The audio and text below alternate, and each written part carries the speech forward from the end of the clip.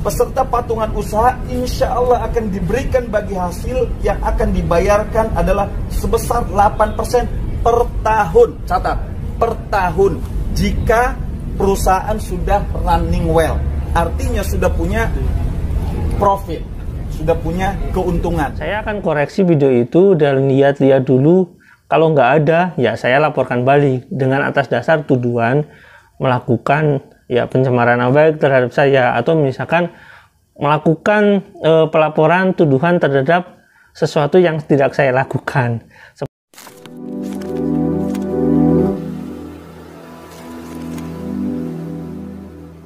Assalamualaikum warahmatullahi wabarakatuh. Welcome back to my channel Detek TV Yuk teman-teman kita kali ini ngebahas tentang pelaporan ya Yang diterima Jia TV Nah menurut Jia TV laporannya itu tentang video dia yang mana dia mereaction uh, video Pak ini ya Pak ini. Jadi dia itu ngebahas tentang ya di VOA TV yang diwawancarai Pak Puspawardoyo ini terus dia mereaksinya yang katanya menurut Pak ya JTV ini itu yang dilaporkan. Bagaimana pendapat saya tentang pelaporan itu terhadap JTV? Oke, secara gini ya teman-teman secara hukum ya pelaporan itu sih diperbolehkan. Kenapa karena ya hak warga negara warga negara Indonesia untuk ya taat terhadap hukum dan dia punya hak untuk melaporkan jika dia merasa dirugikan. Nah yang jadi masalah adalah yang melaporkan pengacaranya gitu melalui Yusuf Mansur saya nggak tahu nih posisinya apakah Yusuf Mansurnya yang menyuruh pengacaranya atau pengacaranya sendiri yang merasa dirugikan atas video itu. Tapi aneh juga sih sebenarnya begini. Kalau misalkan pengacara itu merasa dirugikan atas video uh, Jia TV yang mereaction Pak Pus Puspawardoyo ya terhadap VOA Islam itu terus dia melaporkan atas dasar uh, misalkan misalkan ini ya karena saya nggak tahu persisnya seperti apa.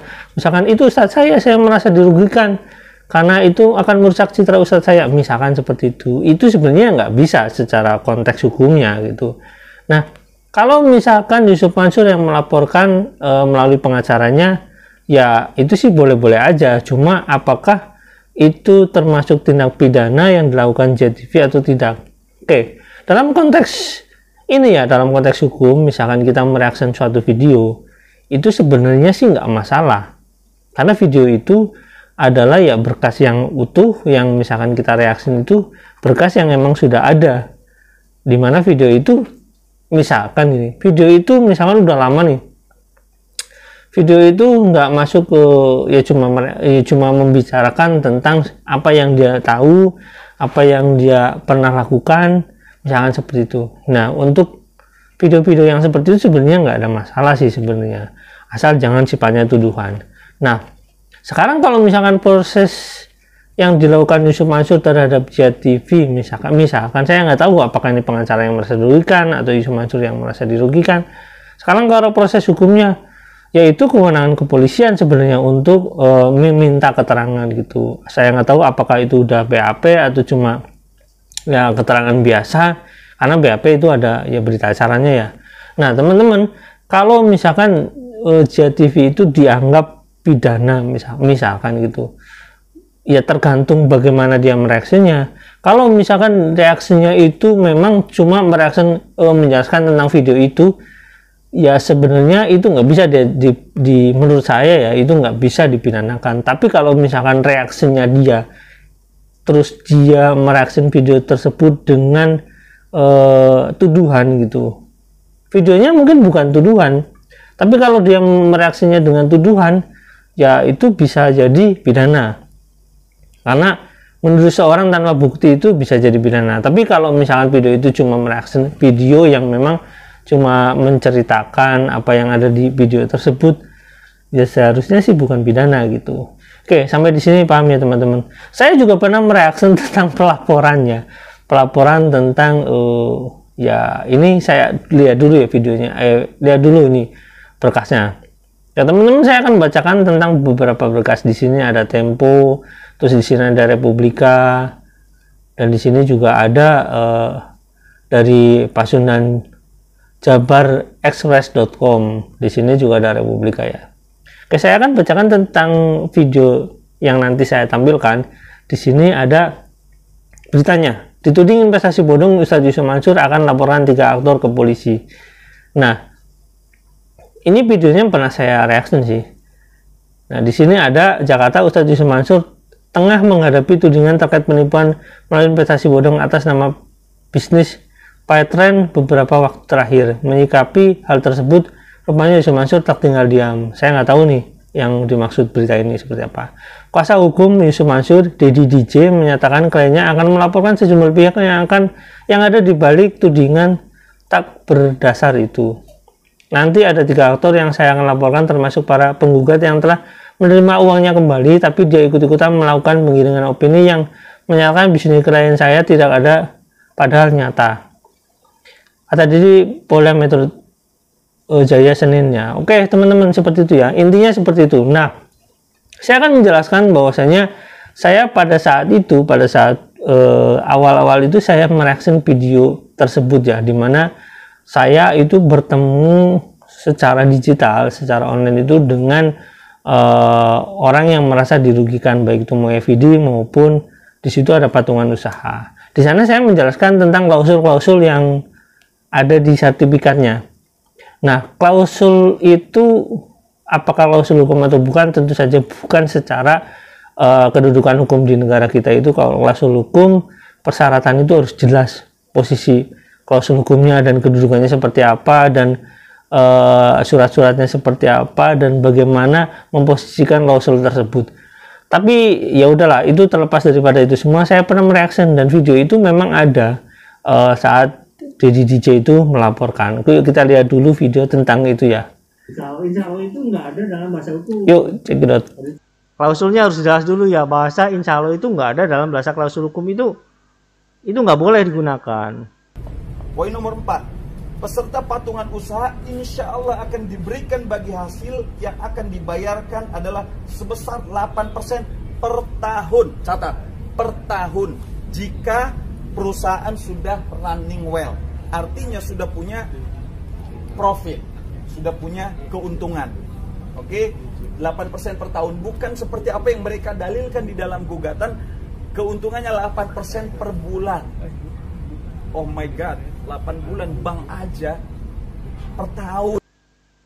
Oke teman-teman, jadi seperti itu ya. Nanti video lengkapnya bisa teman-teman lihat sendiri. Intinya teman-teman, kan Jia TV dilaporkan karena dia e, mereaksi dengan tuduhan ya yang melaporkan siapa dulu? Apakah itu pengacaranya yang merasa dirugikan atau misalkan Yusuf Mansur yang merasa dirugikan melalui pengacaranya? Itu kalau misalkan sifatnya tuduhan. Saya nggak mau ngebahas tentang video e, Jia TV nya karena apa? Itu nanti masuknya karena kepolisian itu sendiri. Bagaimana dia menyimpulkan dan terus bagaimana pembelaan Jia TV itu sendiri dalam proses misalkan e, tanya jawab. Saya nggak akan mengatakan itu BAP ya karena kadang-kadang polisi memanggil itu nggak nggak langsung BAP kadang-kadang e, dia itu minta e, apa ya keterangan aja gitu. Oke. Terus bagaimana jika laporan itu mengarah kepada saya? Misalkan kalau misalkan e, ada pengacaranya yang marah atau misalkan orang-orang di balik lingkaran Yusuf Mansur marah kepada saya saya dilaporkan Pertama sebagai catatan ya teman-teman. Pertama sebagai catatan bahwasanya saya itu selalu menggunakan data. Data baik itu data resmi dari pemerintah maupun uh, video Yusuf Mansur yang dia ucapkan sendiri. Itu. Keduanya saya tidak pernah melakukan tuduhan secara langsung baik itu secara lisan maupun secara tulisan. Kenapa?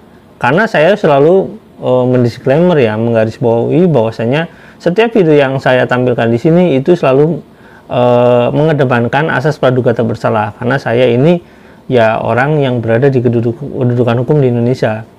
Kedua itu, ketiganya, jika saya sudah melakukan perkataan bahwasanya itu berbohong atau sifatnya tuduhan itu saya selalu e, melandasi dengan hukum yang pas dan emang sudah berdasar.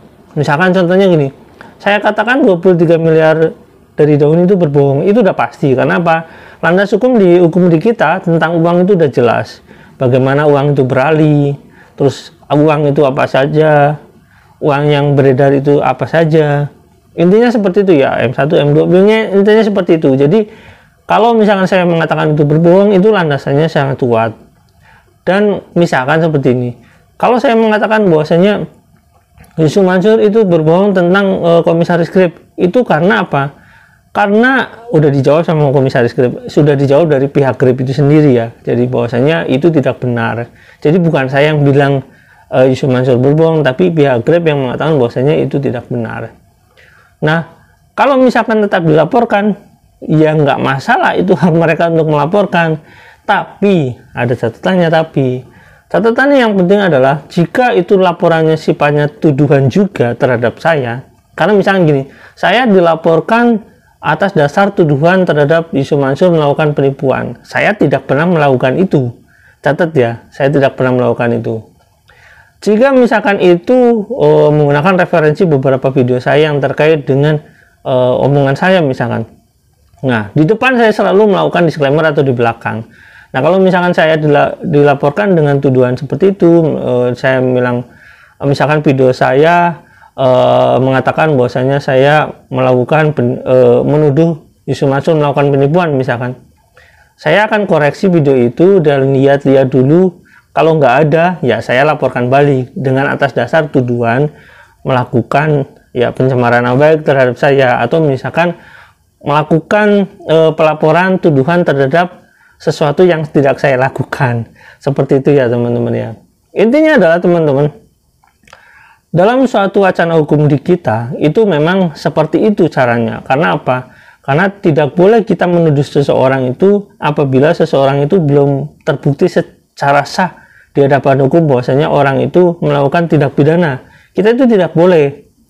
Walaupun misalkan gini, pencuri itu telah benar-benar mencuri, videonya ada di CCTV, itu tetap bahwasanya secara hukum itu kalau belum ditetapkan di pengadilan, itu tidak boleh dikatakan bahwasanya pencuri itu adalah pencuri, walaupun ada videonya secara hukum seperti itu. Selalu dikatakan bahwasanya pencuri ini e, secara hukum ini berdasarkan e, asas praduga tak bersalah diduga melakukan pencurian, misalkan orang ini diduga melakukan pencurian. Karena apa? Karena atas dasar hukum yang kita miliki, setiap individu yang melakukan tindak pidana sebelum ada keputusan hukum yang tetap itu akan selalu bersifat praduga tak bersalah. Jadi gitu teman-teman ya untuk melengkapi bahasan tentang kalau misalkan saya dilaporkan ya saya nggak apa-apa karena saya selalu melandasi dengan uh, ya hukum yang baik ya karena saya menghargai hukum Indonesia di mana hukum Indonesia mengatakan bahwasanya asas praduga tak bersalah itu selalu dikedepankan ya saya selalu seperti itu. Tetapi kalau misalkan saya tetap dilaporkan ya nggak masalah. Tapi saya juga akan melaporkan balik dengan tuduhan kalau misalkan saya dalam videonya uh, menuduh Mansur penipu. Saya akan saya akan laporkan balik bahwasanya saya tidak pernah melakukan itu. Saya dilaporkan atas tuduhan seperti itu. Ya saya laporkan balik. Oke sampai di sini ya teman-teman. Jangan lupa like subscribe dan komen. Jangan lupa juga share. Wassalamualaikum warahmatullahi wabarakatuh. Bye